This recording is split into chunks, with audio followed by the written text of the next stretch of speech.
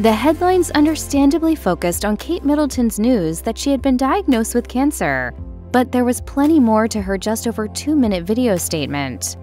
After weeks of rampant speculation about the absence of Catherine, Princess of Wales, from the public eye, following her January 2024 abdominal surgery, Kate addressed the world directly in a video published on March 22nd. Dressed casually in a striped sweater and blue jeans with spring blossoms in the background, Kate finally ended the speculation about her whereabouts over the past two months. Her absence had caused a wave of wild royal conspiracy theories that range from tragic to outrageous. One of the most critical questions Kate answered had to do with initial statements to the press that the condition which she had surgery to correct wasn't cancerous. And at the time, it was thought that my condition was non cancerous. However, tests after the operation found cancer had been present. People also wondered about the princess's lengthy recovery time almost from the very start. It must have been something very serious. Without knowing the kind of planned abdominal surgery she was having, many speculators compared Kensington Palace's expected in hospital recovery window of 10 to 14 days to timeframes presented by medical institutions. For example, Upstate University Hospital in Syracuse, New York, lists the most invasive abdominal surgery hospitalization window as no more than seven days.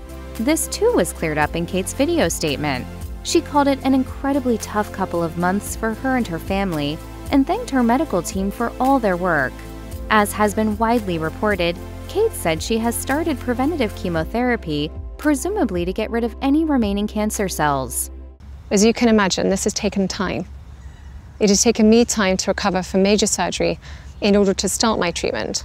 Kate clearly recognized that at least some of the speculation about her absence had to do with genuine concern about her health and well being, and she expressed gratitude for, quote, the love, support, and kindness that has been shown by so many of you.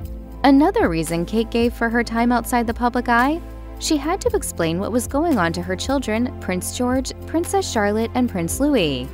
It has taken us time to explain everything to George, Charlotte, and Louis in a way that's appropriate for them and to reassure them that I'm going to be okay. The Princess of Wales understandably left some details about her health private, such as the type of cancer and exactly how it was detected. However, she offered a touching statement of support to those facing their own cancer diagnoses, one of whom is her father in law, King Charles III, who was diagnosed with cancer in February 2024.